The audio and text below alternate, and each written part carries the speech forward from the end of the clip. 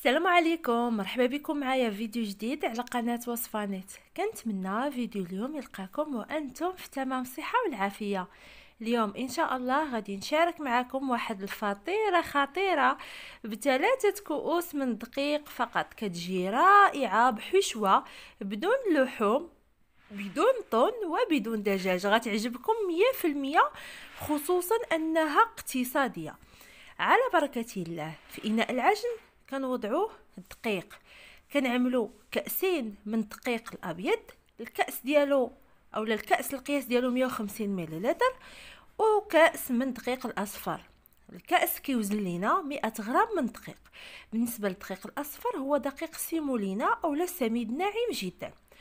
كنحتاجو هنايا النشا كنعملو منه نصف كأس النشا كيخلي هاد العجينة تجينا هشة ورطبه أكثر. كنجيو كناخدو نفس الكأس اللي خدينا به القياسات على بركة الله ثم كنحتاجو لواحد الكيس ديال خميرة حلويات بيكين باودر من وزن 8 غرام ما يعادل ملعقة كبيرة دائما حتى الخميرة كنغربلوها. ومن بعد كنجيو كنحاولوا نحلو دوك التكتلات وكنحتاجو الملح مقدار ديال ملعقة صغيرة تقريبا. نجيبو الخميرة ديال الخبز سواء فوريه أو المعجونة. أنا نعمل هكا فورية ولا خميرة حبيبات ملعقة كبيرة ممسوحة. كنجيبو الزعتر هو كيبقى اختياري. غير يستحسن تعملوا الزعتر كيبقى يعني كي كتجينا سريعة في الهضم. وكذلك حتى المذاق كتجي فيها مذاق البيتزا. كنخلطوا هاد النواشف جيدا مع بعضهم. ثم على بركة الله كنجيبوا الماء الدافئ ونبداو بإضافة الماء بشكل تدريجي حتى كتكون عندنا عجينة متماسكة. آه، بالنسبة للعجينة في هذه المرحلة الأولى ضروري أنكم تخليوها صلبة لأننا غادي نضيفوا الزيت لاحقا. وبالنسبة للماء راه كنحتاجو آه، تقريبا واحد الكأس أو لا كأس إلا ربع تقريبا.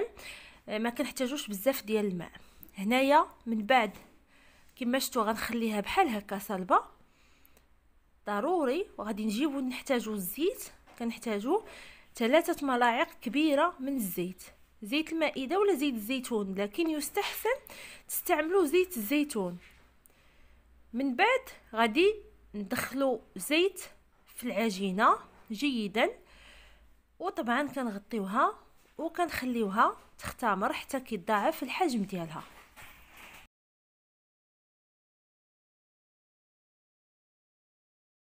في هذه الأثناء كنجيبوا الفلفل فلفل ألوان أو فلفل أخضر اللي متوفر عندكم كنعملوه على النار سواء في واحد الشبيكة أو هكا مباشرة وكنبقاو نقلبوا فيه حتى كنشويوه يعني كنحضروا الفلفل المشوي وهذا هو السر ديال اللذه ديال هاد الحشوه كتجي لذيذة جدا رغم بساطة مكوناتها.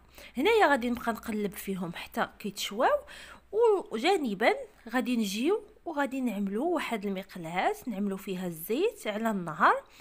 بعد ما كتسخن لينا الزيت غادي نضيفو واحد الحبة من البصل تكون صغيرة شوية في الحجم. ثم غادي نضيفوا ليها طبعا الملح ونضيفوا الفلفل الأسود أو الإبزار واحد الرشة فقط ونخليو البصلة على النار حتى كتدبل لينا ويتغير اللون ديالها. في هذه الاثناء راه الفلفل يعني صافي ولا جاهز. غادي نجيبو بلاستيك غذائي أو لا بلاستيك هكا بلاستيك عادي. وكنوضعوا فيه الفلفل باش كيتزول لينا القشرة بكل سهولة. ضروري من هذه المرحلة هذا توضيح الأخوات المبتدئات. غادي نغطيها وغادي نخليها جانبا واحد المدة. ومن بعد كنجيو كنحاولوا أننا نزولوا داك البلاستيك الغذائي وكنحاولوا أننا ننظفوها. غادي نزولوا ليها هاد القشرة الخارجية. القشرة يعني اللي مشوية وغادي نفتحوها كذلك من الداخل. غادي نطفوها نزولوا ليها هذوك البذور اللي كيكونوا في الداخل. من بعد على بركة الله غادي نقطعوها إلى مربعات صغيرة. إلا بغيتو تعملوها حتى شرائح طويلة ممكن طبعا. غادي نقطع هنايا مربعات. طبعا هنايا راه ملي كنبداو نضفوها راه حنا كنزولو ديك القشرة وكنغسلو السكين باش تنظف لينا جيدا. هنايا بعد ما جهزات لينا البصلة كما لاحظتوا معايا غادي نضيفو ليها هذا الفلفل اللي قطعناه. ثم كنجيو وكنضيفو واحد الفصين من الثوم. طبعا هنا راه الفلفل مشوي يعني راه الفلفل ناضج ما غاديش يحتاج منا واحد المدة طويلة على النار. ومن بعد كنجيو كنحركو وغادي نخليهم على النار شوية حتى تقلى لينا ديك البصلة مع الفلفلة. وكنجيو كنعملو واحد الحبة من الطماطم حبة واحدة اللي كنزولو ليها داك الماء اللي كيكون في الداخل مع البذور يعني كنستعملو غير غير هكا الطماطم.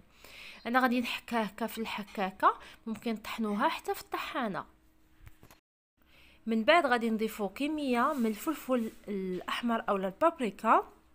كمية من الإبزار أو الفلفل الأسود وكمية من الكركم أي الخرقوم. ما تحاولوا ما تعملوش كمية كثيرة من التوابل باش ما يفسد ليكمش المذاق ديالو. يعني كنعملوا غير كمية قليلة.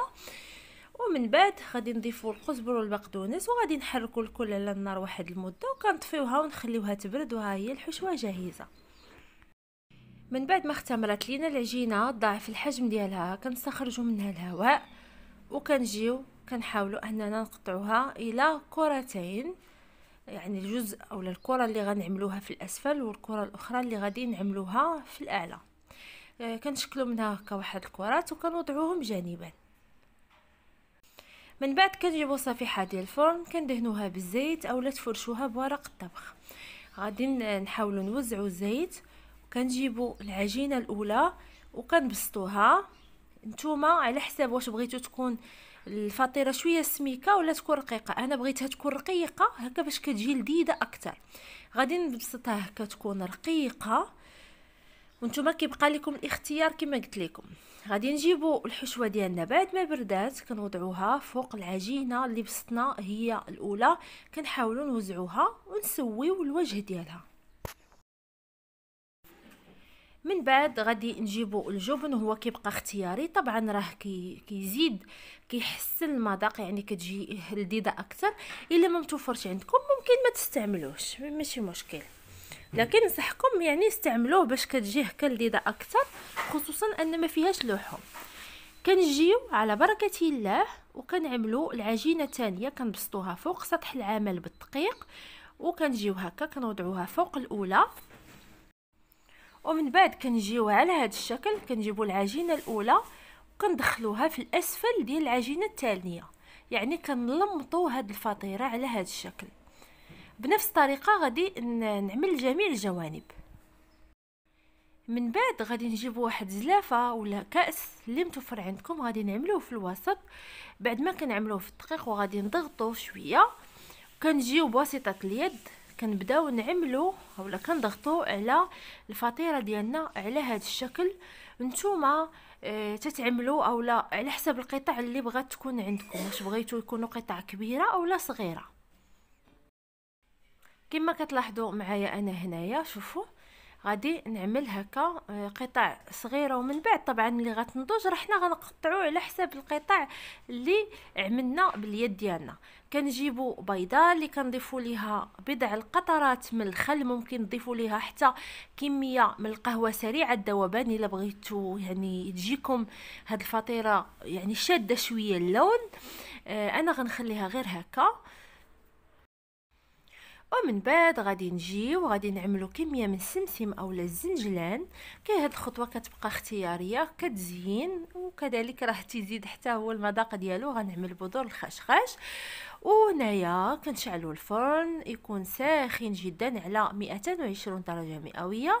كنزلوا الحرارة ل 200 درجة ولا 180 وكنعملوا النار من الأسفل حتى كتحمر من الأسفل. من بعد كنعملوا النار من الأعلى باش كنحمروها كذلك من الفوق. وها هي الفطيرة ديالنا. بعد ما خرجناها من الفرن آه كتجي رقيقة وتجي رائعة ورطبة. أنا متأكدة أنها غتعجبكم رغم أن مكوناتها جد بسيطة. دائما ما تبخلوش عليا بآرائكم ما تبخلوش عليا بتعليقاتكم وكذلك بانتقاداتكم. شكرا على حسن المتابعة. أستودعكم الله الذي لا تضيع ودائعه. والسلام عليكم ورحمة